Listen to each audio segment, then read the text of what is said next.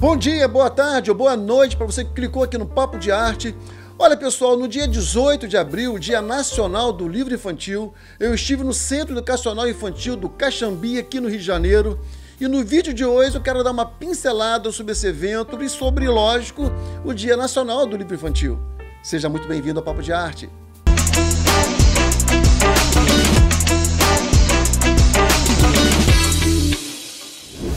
Fala galera, bem-vindo aqui de volta ao Papo de Arte, como sempre, aquele recadinho básico, né? Não esqueça aí de deixar o seu like, os seus comentários. Sem seus comentários, fica realmente complicado do algoritmo do YouTube entregar os meus conteúdos. E se você ainda não se inscreveu no Papo de Arte, Faça isso e não se esqueça de ativar o sininho para que você possa receber notificações de novos vídeos que eu postar aqui no Papo de Arte, tá bom?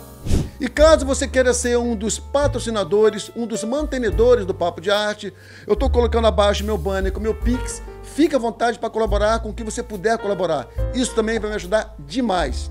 E para fechar aqui os recadinhos, você que precisa de alguém para criar a capa do seu livro, ou diagramá-lo, ou fazer os seus banners para os seus projetos, criar a marca da sua empresa, ou editar os seus vídeos com aquele toque maneiro, a Trace My Design pode fazer isso para você. É, na descrição desse vídeo eu coloquei é, o nosso WhatsApp e o link do site. Acesse e dê uma olhadinha. Eu tenho certeza que você vai ficar satisfeito e será um prazer poder estar junto com você e seus projetos. Então vamos nessa, vamos ao Centro Educacional Infantil. Vem comigo?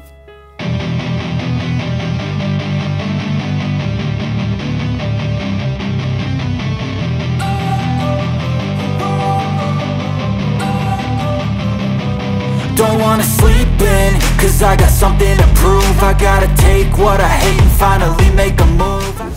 Pessoal, como eu falei na abertura desse vídeo, no dia 18 de abril, Dia Nacional do Livro Infantil, eu estive juntamente com minha esposa lá no Centro Educacional Infantil do Caxambi, aqui no Rio de Janeiro, é, a convite dos meus amigos Henrique e Raquel, esse casal aí show de bola, que são os diretores e idealizadores desse projeto maravilhoso que é o Centro Educacional Infantil. É um projeto é, que tem como finalidade educar né, e instruir muitas criancinhas, proporcionando aí um futuro bem melhor para toda essa galerinha.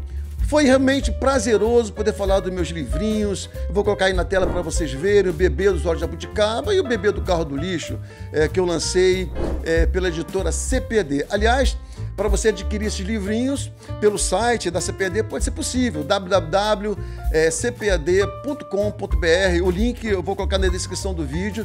E se você também quiser adquirir esses livros, tem lá um WhatsApp, entre em contato comigo, que vai ser um prazer poder te enviar autografado e certamente por um custo que vai valer a pena, tá bom? Enfim, pessoal, foi muito legal poder passar para as crianças ali a importância é, da literatura infantil, entender, né, é, o quanto é fundamental essa questão de você ser um instrumento, né, através do seu trabalho para o desenvolvimento cognitivo, emocional e social dessa galerinha. E o que mais me chamou a atenção, pessoal, foi o fato de você ver aí, conforme estou colocando nos vídeos, o quanto elas estavam, digamos, é, atentas às histórias, focadas no que estava ali é, falando para elas, a respeito, lógico, é, das aventuras do bebê, é, do seu nascimento, é, enfim, de tudo isso. Foi realmente muito emocionante, né? Claro que é, eu não poderia deixar de falar é, da data escolhida pelo Centro Educacional Infantil, que foi o dia 18 de abril, né? uma data muito especial, afinal, é o dia do nascimento de um dos mais renomados escritores brasileiros é, da literatura infantil, o grande Monteiro Lobato, né? que nasceu em 1882 e faleceu em 1948. Gente, indiscutivelmente que o Monteiro Lobato, inclusive tem aqui no canal, tem um vídeo que eu falo sobre ele, muito interessante, vale a pena depois vocês conferirem. Ah, o Monteiro Lobato ele foi o maior nome da literatura infantil brasileira é, de todos os tempos, né? Razão pela qual a gente comemora até hoje, repito, essa data. Né? E uma coisa curiosa é que metade das histórias criadas por Monteiro Lobato foram dirigidas ao público infantil. Ou seja, o cara dedicou aí muito tempo da sua vida à literatura infantil. E são inúmeras obras, pessoal. Posso citar aqui algumas, por exemplo, é O Triste Pica-Pau Amarelo, é, é, histórias é, da tia Anastácia, O Saci, é, Memórias de Emília e por aí vai.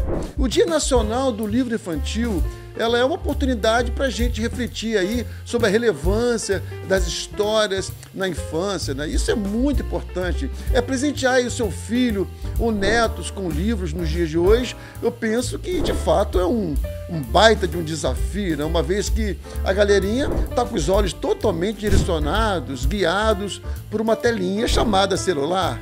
Então eu penso que cabe aos pais, não somente às escolas, evidentemente que as escolas têm aí, cabe aos parentes, um papel muito importante eh, nesse processo educacional, mas cabe aos pais e às famílias educarem e estimularem seus filhos à leitura, né? Esse universo mágico dos livros. Claro que elas podem também ler de forma digital, mas sentar na mesa e no chão da sala e contar histórias infantis, principalmente do Monteiro Lobato, é, temos, claro, outros autores muito interessantes, e falar é, da importância é, desse camarada que foi o pai, né, o pioneiro da literatura infantil, é realmente um passatempo muito legal. É, imagina, você diante de livros que encantaram gerações de crianças, é, com personagens é, cativantes e, e aventuras que estimulam a criatividade, o gosto pela leitura, é algo realmente fantástico, né? Olha aqui, pessoal, quando eu falo de livros, evidentemente que eu falo de bons livros. E não tem jeito, é, a educação e a leitura, elas elas libertam. Né? São duas vertentes, digamos assim, é, que se encontram e proporcionam um boom né, de conhecimento e magia. Aliás, quando estimulamos as crianças à leitura, a gente, de certa forma, está dizendo o seguinte: olha, tá vendo isso aí? É, esses livros, eles são portais mágicos que vão transportar todos vocês é, para mundos imaginários, onde os sonhos se tornam realidade e a fantasia ganha aí vida. Eu penso que é basicamente é, o que o Monteiro Lobato aplicava em toda a sua obra infantil.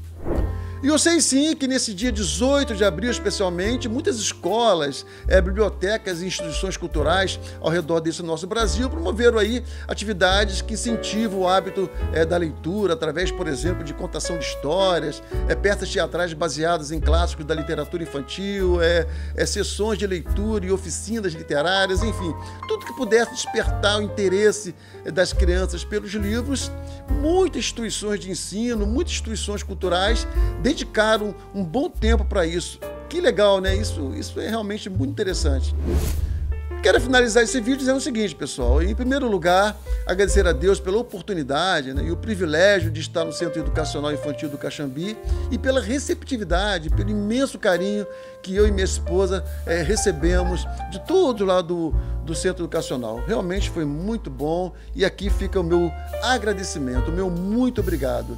E, em segundo lugar, dizer que o Dia Nacional do Livro Infantil, ele nos convida a refletir, a reconhecer, a celebrar o poder transformador da literatura em nossa vida e principalmente na vida das crianças. É uma oportunidade para reafirmarmos o compromisso de incentivar, como falei, o hábito da leitura desde cedo, proporcionando às crianças aí acesso a um mundo rico em histórias, personagens e aprendizados.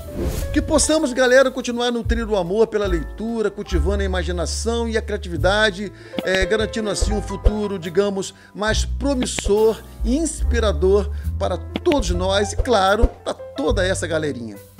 Fico por aqui, espero que vocês tenham gostado. Até o próximo vídeo, querendo Deus. Tchau!